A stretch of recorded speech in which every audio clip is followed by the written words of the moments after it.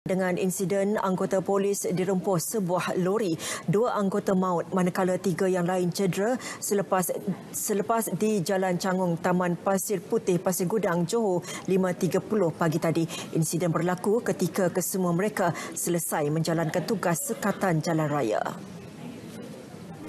Ketua Polis Daerah Sri Alam, Superintendent Ismail Dolah ketika mengesahkan mengenai insiden memberitahu sebuah lori dari arah Kota Masai ke Taman Pasir Putih dipercayai hilang kawalan sebelum terbabas ke kiri jalan lalu melanggar lima mangsa yang berada di lokasi.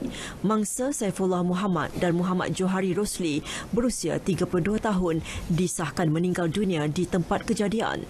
Manakala tiga lagi anggota yang cedera sedang menerima rawatan di Hospital Sultan Ismail HSI Johor Bahru.